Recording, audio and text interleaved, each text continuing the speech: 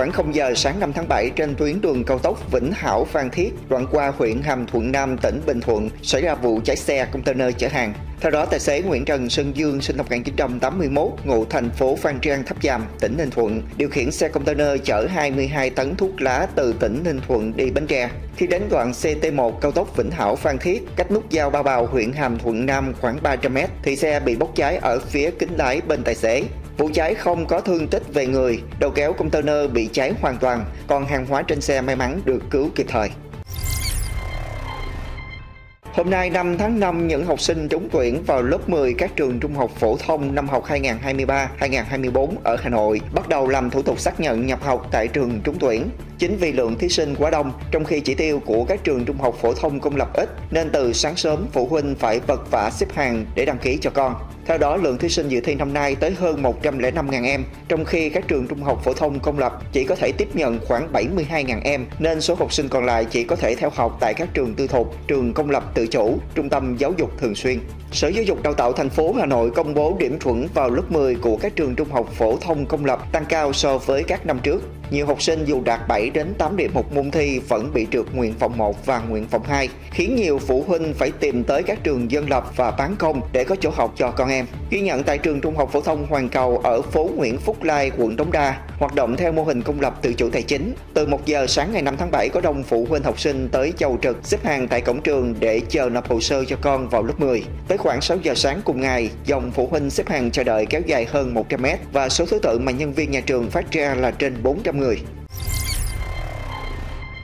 Sáng 5 tháng 7, cơ quan an ninh điều tra công an tỉnh An Giang cho biết đang tạm giữ hình sự Cao Nguyễn Hoàng Phúc, 19 tuổi, ngụ xã Bình Hòa, huyện Châu Thành, tỉnh An Giang để điều tra về hành vi tàn trữ, sử dụng, mua bán trái phép vũ khí quân dụng. Tại cơ quan công an bước đầu Phúc khai nhận do Phúc và Huỳnh Quốc Bình 16 tuổi cùng trú tại địa phương có mâu thuẫn với một nhóm thanh niên khác nên nảy sinh ý định đặt mua một khẩu súng hiệu CB5 và 4 viên đạn giá 3,5 triệu đồng trên mạng xã hội với ý định để phòng thân. Tiến hành kiểm tra lực lượng công an phát hiện thu giữ một khẩu súng hiệu CB5, hai viên đạn, hai vỏ đạn cùng nhiều hung khí nguy hiểm khác. Qua công tác tuyên truyền vận động của lực lượng công an, Huỳnh Quốc Bình đã đến công an huyện Châu Thành đầu thú. Đến ngày 5 tháng 7, cơ quan an ninh điều tra công an tỉnh An Giang ra lệnh giữ người trong trường hợp khẩn cấp và quyết định tạm giữ hình sự đối với Phúc. Còn Bình do chưa đủ tuổi chịu trách nhiệm hình sự nên cho gia đình bảo lãnh để tiếp tục điều tra xác minh làm rõ xử lý theo quy định pháp luật.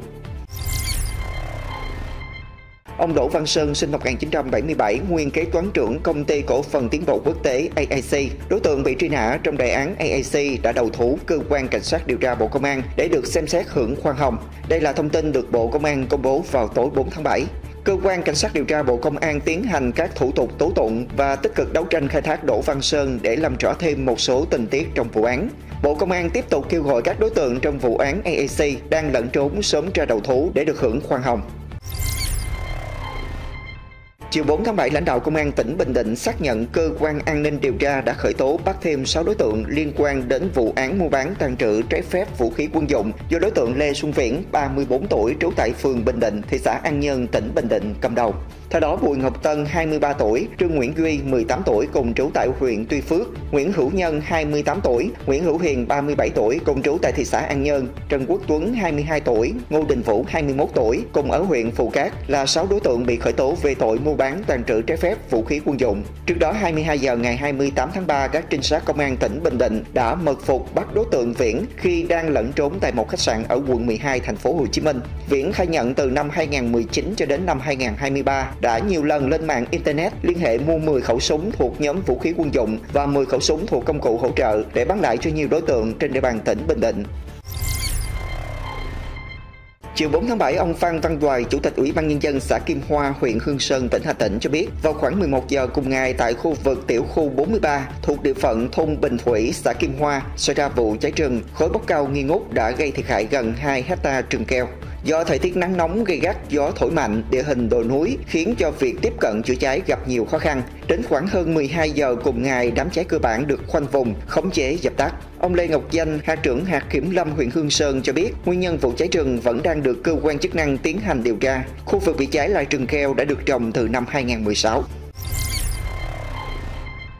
Ngày 5 tháng 7, ông Lương Huy Khanh, chánh văn phòng thường trực Ban chỉ đạo ứng phó biến đổi khí hậu, phòng chống thiên tai và phòng thủ dân sự tỉnh An Giang cho biết đang tiếp tục phối hợp với các ban ngành và địa phương rà soát, theo dõi, cập nhật tình hình thiệt hại do tràn nước sụt lún đất bờ sông, kênh rạch trên địa bàn huyện Chợ Mới và huyện Châu Phú. Cụ thể trên tuyến đường bờ Nam kênh đào ở ấp Mỹ Chánh, xã Mỹ Đức, huyện Châu Phú đã xảy ra sạt lở ở vị trí tiếp giáp với đoạn sạt lở cũ. Tổng chiều dài sạt lở khoảng 5 m, ăn sâu vào mặt đê 2,5 m, sụp xuống khoảng 0,02 m. Sạt lở gây ảnh hưởng một láng trại trên tuyến đường bờ Nam kênh đào. Tiếp đó trên tuyến kênh Mương Sung ở thị trấn Hội An, huyện Chợ Mới đã xảy ra tràn nước, sụt lún đất, tổng chiều dài khoảng 45 m. Nguyên nhân xác định ban đầu do ảnh hưởng của dòng chảy, mái ta luy đường thẳng đứng và ảnh hưởng của những đợt mưa đã phá hoại kết cấu đất, các phương tiện giao thông thủy qua lại trên tuyến đã gây sụp lún đất bờ sông kênh trạch.